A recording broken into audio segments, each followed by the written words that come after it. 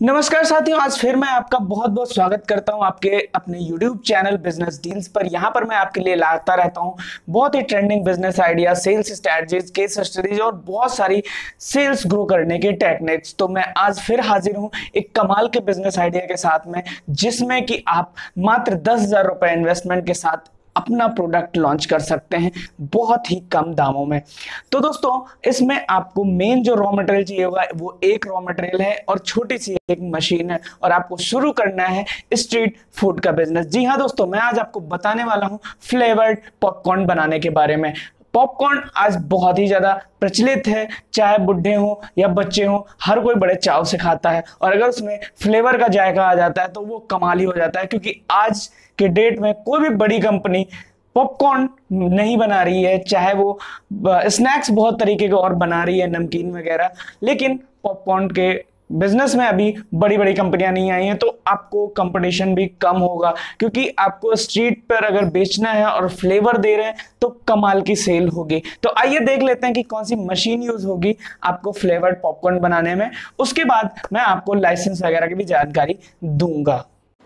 तो दोस्तों, ये रही मशीन आपकी स्क्रीन पर, जिसमें कि आप देख पा रहे होंगे, ये आपका कॉर्न है। इसको आम बोलचाल की भाषा में मक्का बोलते हैं।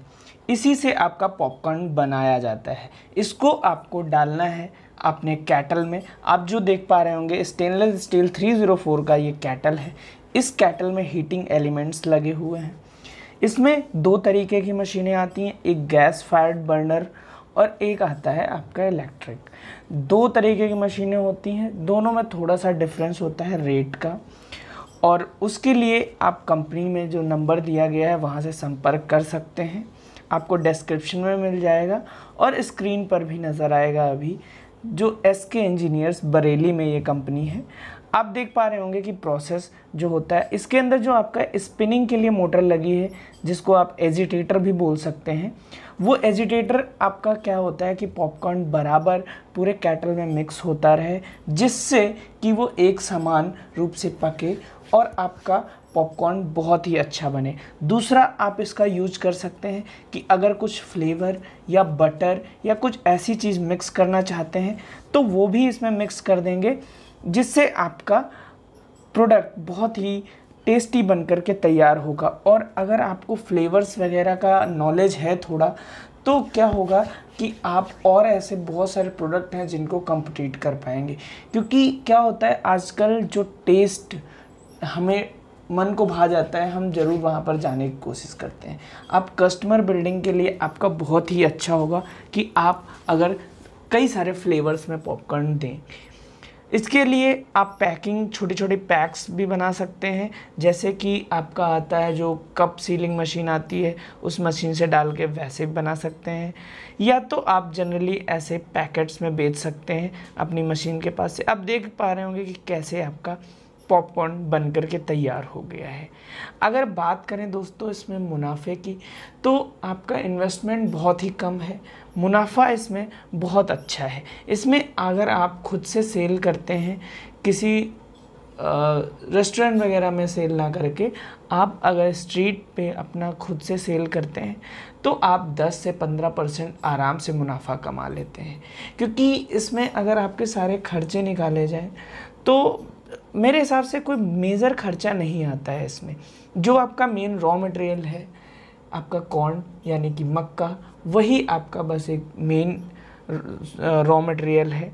उसके अलावा आप एक बार मशीन में इन्वेस्ट कर देंगे तो आपको इन्वेस्ट नहीं करना पड़ेगा। इसमें जो बटर या ऑयल थोड़ा सा डालते हैं, वो ना के बराबर उसकी कॉस्ट होती है। दोस्तों, हो सकता है कि जो मैंने आपको मुनाफा बताया, वो अलग अलग जगह पर अलग अलग रेशियो हो सकता है। लेकिन मैंने यहाँ पर आपको कम से कम इतना मुनाफा बताया है।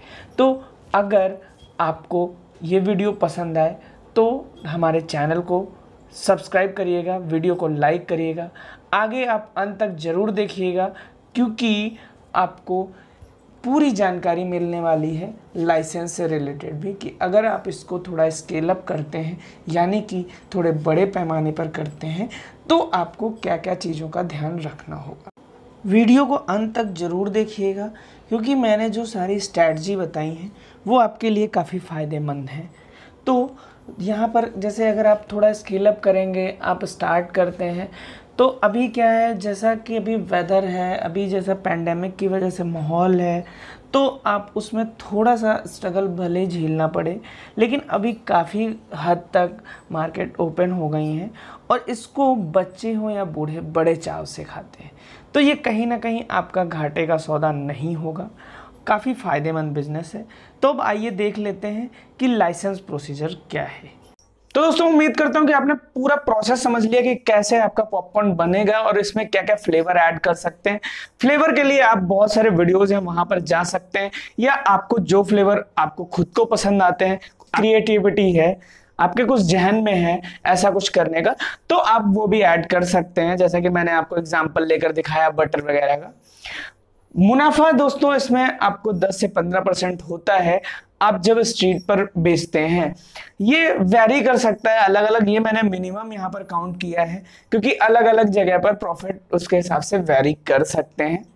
आपका जो रॉ मटेरियल है, वो मेन कॉर्न है, आपका मक्का है, वो आपको हर जगह पर रूरल एरियाज़ में थोड़ा सस्ता मिल जाएगा आपको इजीली और काफ़ी सेहत के हिसाब से भी काफ़ी फ़ायदेमंद होता है। पॉपकॉर्न आपको कहीं भी नुकसान नहीं करता है। इस लिहाज से ये काफ़ी बिकता भी है। दोस्तों, लाइसेंस की बात करें तो आपको एफ़ से अगर आप रजिस्ट्रेशन करा लेते हैं तो बहुत ही अच्छी बात है। और आपको अगर जीएसटी लाइसेंस ले लेते हैं, ये दोनों ही आपके लिए बहुत ही कारगर साबित होंगे।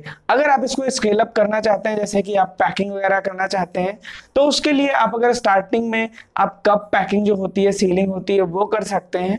या आप अगर थोड़ा और बड़ा करना चाहते हैं तो आपको 30 से 50 ग्राम की पैकिंग में स्टार्टिंग में लॉन्च करना चाहिए मेरे हिसाब से।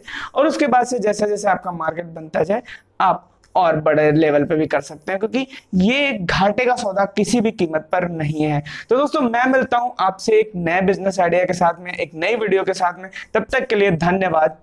जय हिंद।